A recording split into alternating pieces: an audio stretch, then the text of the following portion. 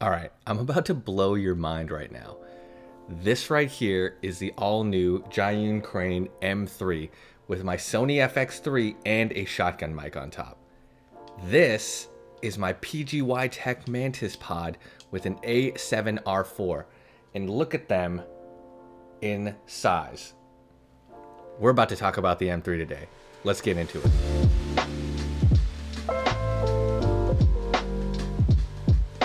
Hey everyone, welcome back to my channel. If you're new here, my name is Desmond and I make content for creators that want to take better photos and shoot better videos. And today I am probably the most excited I've been in a while because I've got my hands on a brand new Zhiyun Crane M3.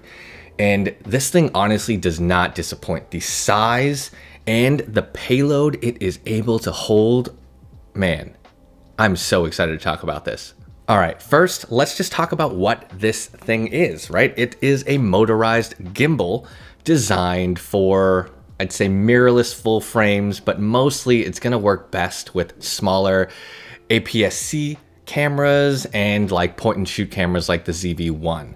But I will tell you that having tested this with my Sony FX3 with the 35mm G Master, with my 85mm Batis, and my 20mm f1.8 G lens, this thing can really hold a usable full frame payload. And the nice thing about this gimbal being able to hold this payload means that anything smaller is going to fit like a glove and is going to work beautifully. Because even with this setup, with the 35mm G Master and my Sony shotgun mic on top, I'm able to have this thing perfectly balanced and the motors do a great job of keeping everything steady. All right, so first let's start talking about the build quality of the Zhiyun Crane M3. Most of this is made out of plastic, probably what keeps it so light and small.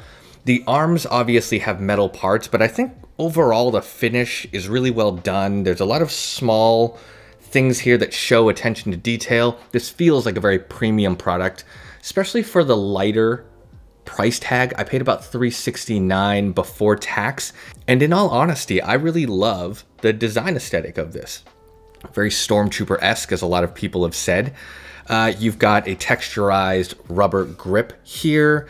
These knobs and these wheels feel really well done. There's a good amount of feedback. And the joystick on the back feels fine. A few things I specifically want to call out is these axis locks. So now each of the axes has their own individual locks, which is great because when you're balancing a gimbal, now you can lock each of the individual pieces while you're getting it done. And those locks are made of metal, they click really well, they feel secure. So when I'm walking around with my gimbal, in lock mode with my heavy expensive camera on here, I still feel pretty secure. And I will say that this is a step up in quality from the Crane M2, which is a slightly smaller gimbal with a much lower payload threshold. That thing was only able to hold my Sony ZV-1 and it was never able to hold something as heavy or robust as my Sony FX3, especially with a 35mm lens and a shotgun mic on top. Let's quickly run through some of the features that come with this gimbal. And I'm not going to go through everything in depth because there are a ton of YouTube videos that have been out for a month now that have just gone through all the individual modes. But like I've said in my gimbal reviews before, this is a gimbal. It has one job. It stabilizes the camera. So really it can't get that fancy.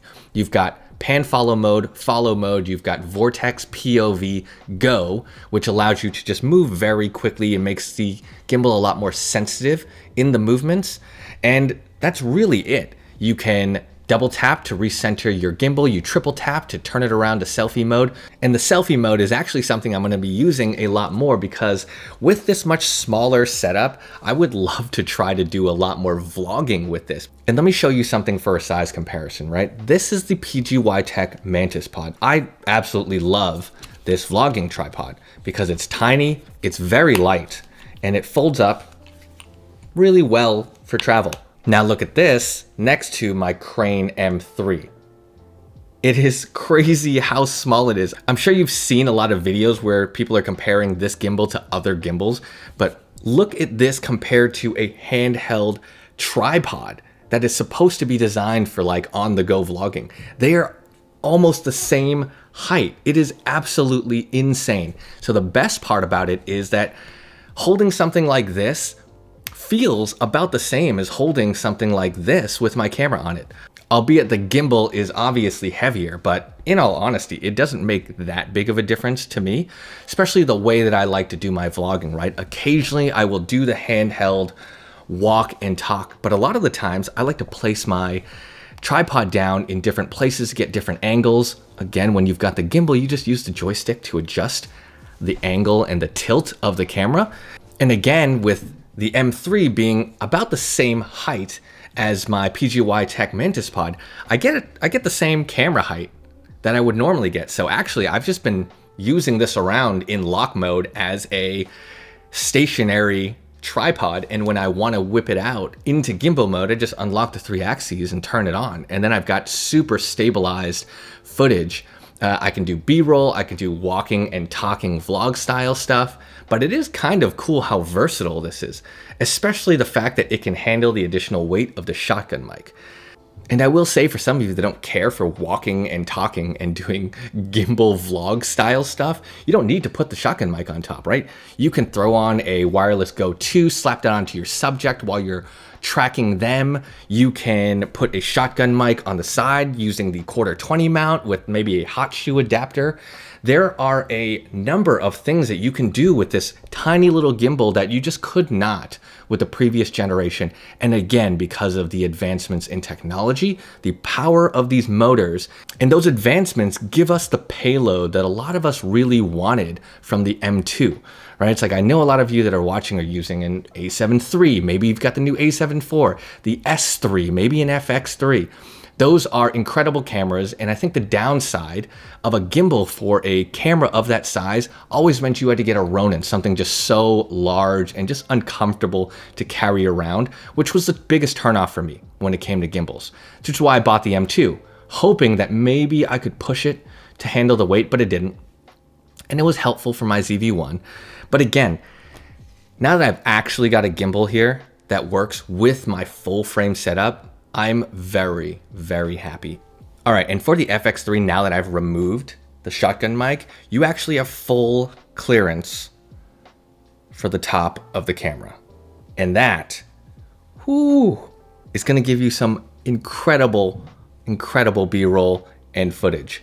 So it's just amazing how tiny this little guy is and the fact that it can hold my FX3 and my G Master. So this is amazing for something this small to be able to handle a payload which I would consider relatively heavy. I will say that the lenses I will most likely be using my gimbal with is the 20mm f1.8 G lens. That's going to be my walking, talking, vlogging style if I do a lot of gimbal stuff like that. And my 55mm f1.8 Sony lens, which is incredibly tiny and will handle this absolutely no problem. The 35, maybe. The 85, probably not as often, but I wanted to throw those lenses on and test the capacity so that I could let you know that they do in fact work very well. And what you're seeing here is my gimbal off right now. So this is really all balanced for the most part. If I throw the mic on top, it's gonna give it this, that little bit to balance it out. But this is incredible. This is not something you could have done a couple years ago with something this tiny. So I'm really, really impressed with how far Zhiyun has come with their gimbals. All right, and for the most part, that is the functionality of the gimbal. It holds good weight, it stabilizes the footage. So a couple things that I wanna talk about now is like portability and whether or not this will fit in my smallest backpack. Here's a nice little feature I'm just gonna call out is Zhiyun's new quick release locking mechanism. The one downside that I will call out now is, man, I really still hate these gimbal plates. You've got the little knob that attaches your gimbal plate to your camera. Yes, I know Zhiyun makes those custom uh, quick release plates for the A7S III and some of the other popular models. Well, they don't make one for the FX3. It doesn't matter though. I still wouldn't use those because all of my cameras use an Arca Swiss compatible bottom plate that works with my Peak Design travel tripod, my Mantis pod, my capture clips. Zhiyun really needs to get on the bandwagon and create a Arca Swiss compatible quick release plate. Uh, I even tried to purchase the PGY Tech quick release system and mount that to this plate, but it ends up being a little bit too heavy. So we're either just gonna have to wait for Zhiyun to release one, or more than likely SmallRig will come out with another one just like they did for the M2. And that is the last piece that I'm waiting for because I hate, hate, hate the idea of having to remove my Arca Swiss plate, put this plate on, throw that on here. It just, it just adds this extra step that I don't have with any of my other tripods or my like quick release accessories. All right, now that I'm done ranting, I'm just gonna show you how compact this truly is because the other thing I haven't really seen from a lot of reviews is people sticking these into backpacks. For reference, 15 liter Peak Design Everyday Zip. This is a tiny, tiny backpack. This is my baby backpack that I carry my everyday like camera gear in. And here we've got the Crane M3. I'm gonna place it right in here. And then the best thing is, look at that. I still have space for top compartment and the other side where I can carry my A7R4. I usually carry my FX3 with the shotgun mic on top. Look at how beautiful this is, man. Look at that. Are you serious? Are you seeing this right now? Look at how tiny this gimbal is. Are you crazy? Look at that. That's a PGY Tech Mantis Pod. This is a compact tripod. Look at this.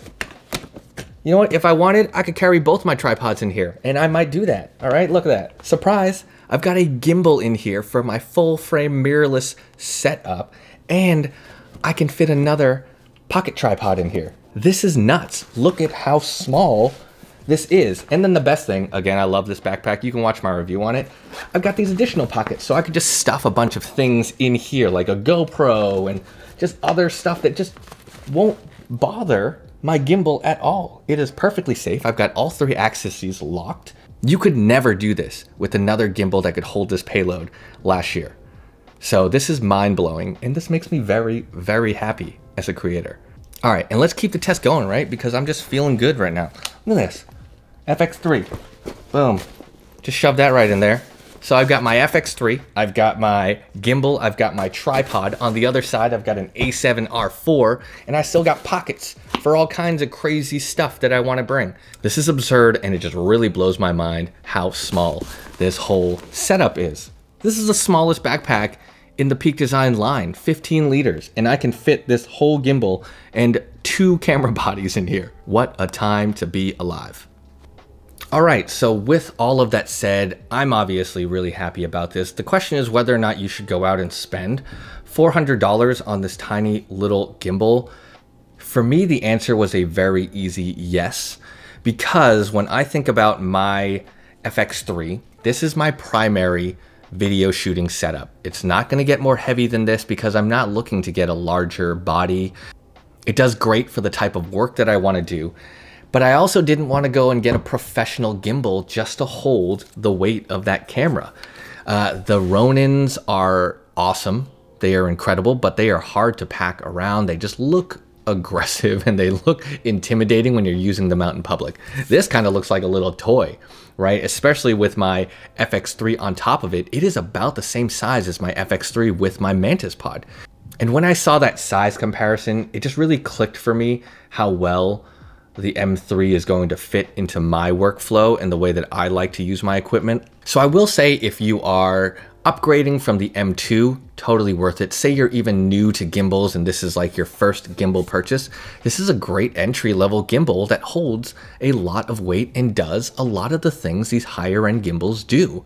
And for the most part, if this is your first gimbal, you're probably not rocking like an FX6 or some massive cinema camera, so you don't really need anything bigger. I really enjoy the build quality, the convenience, and just how compact it is. The three axis locking mechanisms are really, really helpful, especially when just packing this thing away. And like you saw, man, this fits in my smallest backpack, which for the most part will probably fit in one of my sling bags. So I'm very happy about that. I would say this is a buy for me. All right, and with that said, that is my review of the Crane M3. I will catch y'all in the next one.